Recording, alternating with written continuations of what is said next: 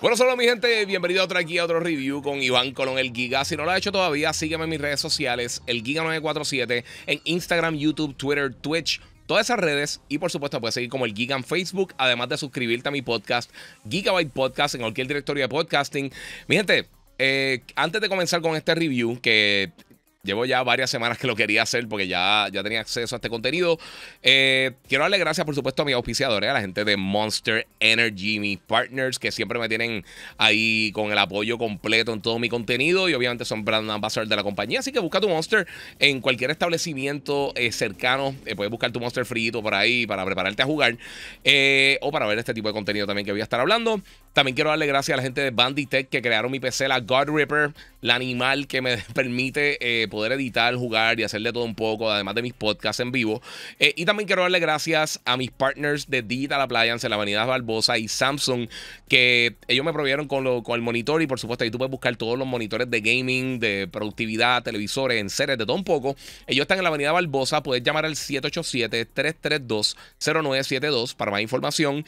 Allí te bregan con la garantía, puedes ir allí a probar los productos. De verdad que el sitio está súper cool, así que pasa por allá para que busques tus monitores, específicamente lo dice G9 y el Samsung Smart Monitor M7 que está bestial. De verdad que es de las mejores cosas que yo he visto en mezcla de productividad y también de entretenimiento.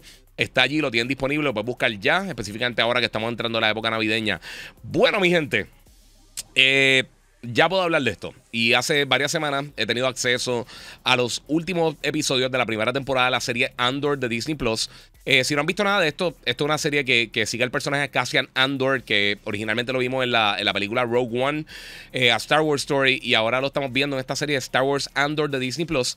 Eh, estos primeros dos episodios están ya disponibles en, el, servicio de streaming de, de Disney. Eh, y tengo que decir una cosa. Como pueden ver, yo siempre he sido fanático de Star Wars toda mi vida. Eh, y desde que anunciaron la serie me estuvo curioso, porque uno de, de, de los contenidos mejores que he visto recientemente de Star Wars fue la película Rogue One. A mí me encantó. Pienso que es de lo mejor que se ha hecho de Star Wars, incluso eh, mejor que algunas de las películas originales. Yo lo tengo como la tercera mejor película de Star Wars, después de Empire Strikes Back y de New Hope. Eh, y me gustó mucho, y aunque me han gustado mucho la serie animada, me encantó Mandalorian, me gustó mucho Obi-Wan y me han gustado mucho de las otras cosas que han sacado recientemente. Tengo que ser sincero. Eh, Andor en cuanto fuera de las películas, definitivamente lo mejor que se ha hecho de Star Wars. Las actuaciones están brutales. Me gusta mucho la temática, que estamos viendo como, primero todo, como Andor, eh, Cassian Andor se, ubica dentro de este universo eh, y cuál, él, encontrando su lugar en el mundo. Eh, que obviamente ya sabemos que, más adelante pues pasan unas cosas durante Rogue One. Este es antes de Rogue One y antes de, de A New Hope. y vemos que Diego Luna vuelve al papel. obviamente un personaje un poquito más joven. Y vemos el conflicto que él tiene de, de involucrarse o no con las cosas que están sucediendo con el imperio. Con el imperio. También tenemos unas actuaciones brutales de personajes nuevos como Lucen eh, Real, eh, que lo interpreta Stellan Skarsgård y hace un papel impresionante como una de las piezas que está moviendo todo lo que está sucediendo entre el imperio y lo que van a hacer los rebeldes más adelante. Eh, también vemos a Genevieve O'Reilly que hace un papel excelente como Mothma. Ya lo hemos visto anteriormente, pero realmente Mon Mothma, aunque es un personaje bien importante dentro del universo de Star Wars, nunca ha tenido mucha eh, presencia, eh, como lo han tenido muchos otros personajes. Y de verdad que se votó. Ella hace como el papel de mis personajes favoritos de la serie. Tenemos muchos otros personajes. Eh, Faye Marsa, que hace de Bel Zarza, eh, hace un personaje brutal. También tenemos a Big Scalen, eh, Kalin, que lo hace Adrian Hona eh, y muchos otros personajes. Tenemos varias sorpresas que están aquí. Ahora, lo que tengo que decir es que de toda la serie y de todo el contenido de Star Wars que se ha hecho, de todo, o sea, hablando desde la serie animada, las películas originales, las precuelas, las secuelas, todo eso, yo creo que el contenido de Star Wars más serio. Parece más un contenido de Tom Clancy, de espionaje, que tú ves cómo se están poco a poco moviendo eh, las fichas para, para, lo que se va a convertir en la rebelión. Y obviamente también vemos el trapastidor de, cómo el imperio se está preparando y cómo están tratando de lidiar con esta posible amenaza. Todas estas cosas están brutales. Eh, por lo menos en esta primera temporada eh, no tenemos nada que ver con, con, magia, lightsabers, no hay cosas para niños pequeños. Esto es una historia bien seria, bien entretenida. Tiene una acción espectacular, aunque no el enfoque de la serie va más pausado. Por eso les dije que, parece más como una, como una serie o película tipo Tom Clancy. Eh, y hace un papel espectacular, de verdad. Eh, estoy loco que, eh, tengamos una fecha ya para la segunda temporada que viene el año que viene. Va a ser 12 episodios adicionales. Ya sabemos que esta serie va a ser un total de 24 episodios. Así que si no la has visto todavía y eres fanático de Star Wars, definitivamente esto tú lo tienes que ver. O de todas las cosas que han salido de Star Wars, esto es de mi contenido favorito de todos los tiempos.